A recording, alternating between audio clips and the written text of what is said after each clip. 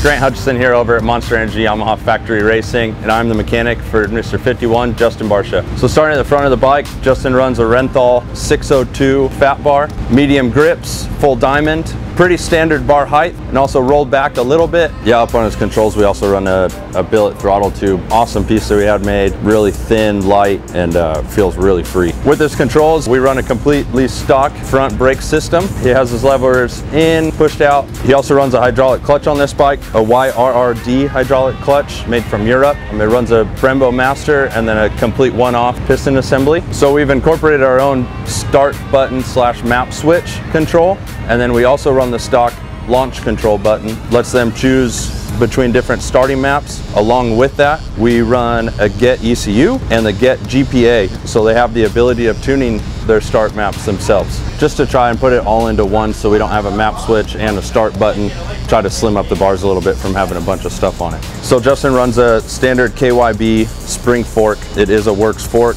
and shock. They allow a lot of adjustment. We have two compression adjustments and two rebound adjustments, both front and rear, and also the capability of adding air if you really wanted to. Over the testing, the guys have really picked this year just stock clamps, stock position, nothing crazy there. They really like the plushness and how soft they feel. So for wheels on this bike, we have a OW hub straight from Japan Yamaha. Also run a, a DID Dirt Star STX and it's also wrapped in Dunlop tires. We do do a custom rim for the race team. The production bike now comes with the blue hoop, but we go ahead and send it off, get it polished and re-anodize blue to make it pop a little bit more.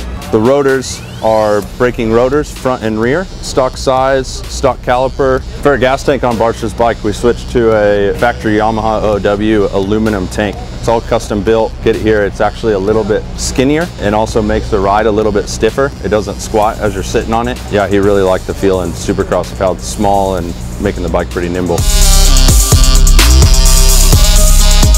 Primarily all stock plastic with a Cycra front number plate. They just came out with it a few weeks ago for the new model and then also wrapped in Factory Effex, graphics, and seat cover. For cooling system on the bike, we do run stock radiators, stock hoses. We just like to weld the spigots and the seams, get a little strength in case of a crash. Going into outdoors, we should be running a fan to help out with cooling. This year, PC did an awesome job with our pipe put in their cool little decal and in our header. Also put in the O2 sensor for us so we can read a little bit of data. It's on at all times. We can always adjust if needed. Being factory Yamaha, most of the stuff is done in-house or get parts from Japan. You know, the, the whole engine package stock is so good this year that the guys haven't veered far from it.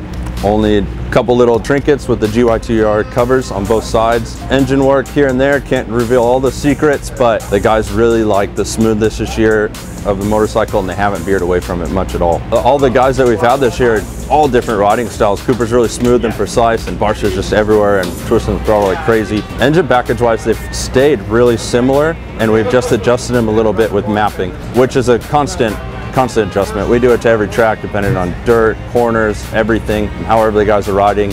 Yeah, a lot of the chassis stuff around this bike, we didn't have to change. We've also, we've done the testing and stock OEM, it has been the best. Our engine hangers, top and front are stock. Not a lot of change in tie bolts and stuff like that. They really like the stock platform that we didn't get far from. Nice carbon skid plate this year. We made in-house. Yamaha US made it for us.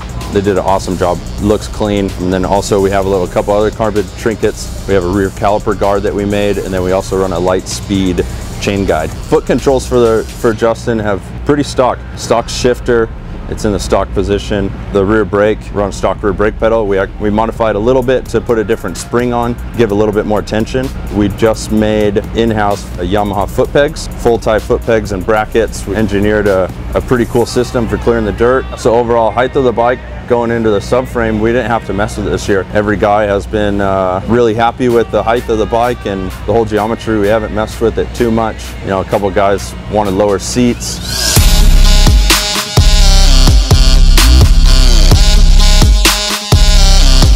Run a little frame tape on there, a little soft grip tape, helps with the guys' little traction in there. No other grip tape on the bike, just on the bottom frame rail. Bolts going on this bike, we have a OW Works Yamaha rear axle. It is a actually a steel axle and uh, gold nitride is really slick and durable. It's really strong. And the, the front wheel is also a titanium works axle. Going with the other ones, the guys kind of switch up if they want tire or steel, they might go back and forth depending on how it feels. We do run a Delrin insert so our, no rocks get stuck on the rear brake pedal. DID chain and a Vortex sprocket. Really tried to make sure the bike stays nice and long and supercross and it has a lot of stability in the whoops that way. So yeah, we try to run it as far back as we can and not try to mess with gearing too much and leave it there for all the all the good chassis benefits it has. So going to electric start this year, we had Speedsail come on board. They built us these awesome batteries built purposely for this motorcycle. Also like to run an extra safety precaution and we have a port that if there's any type of issue with battery or broken wires or anything, we have the ability to do auxiliary battery and plug it in and still get the motorcycle started in a pinch. Rear tire is a Dunlop tire. Justin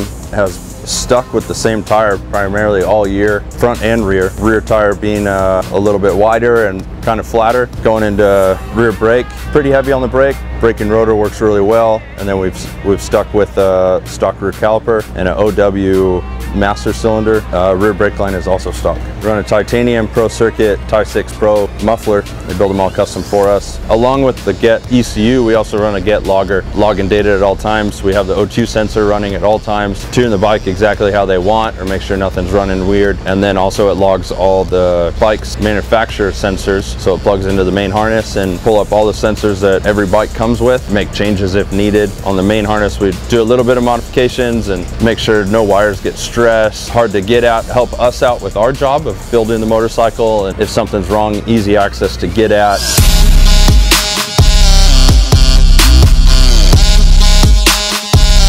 With the rear end, we run stock linkage. Guys loved it. And with the KYB factory rear shock, where we're able to, you know, adjust shock length and obviously we can put any spring rate on there we want. Supercross, they're pretty high up there. Yeah, the rear end is highly adjustable, but linkage stays stock. With the metal grates this year, we run the Pro Circuit starting device and we've been running the dual button. It's really consistent on the gate where once we kind of got a set height, we stuck with it, but then we found that the dirt afterwards makes a huge difference, maybe more so than when we started on dirt depending on the traction, we'll either raise or lower the front end track to track. Yeah, with our clutch system this year, Barcia is obviously pretty hard on the clutch, revving the bike high, really hard out of the corners. He does go through the clutch a lot. Now that we put the hydraulic system on, able to run more variety of springs, also different plate combos. This motorcycle, we run a, a DT1 air filter, able to get on the dyno and we can run different filters for supercross or outdoors. And inside the aluminum tank, we run a VP fuel.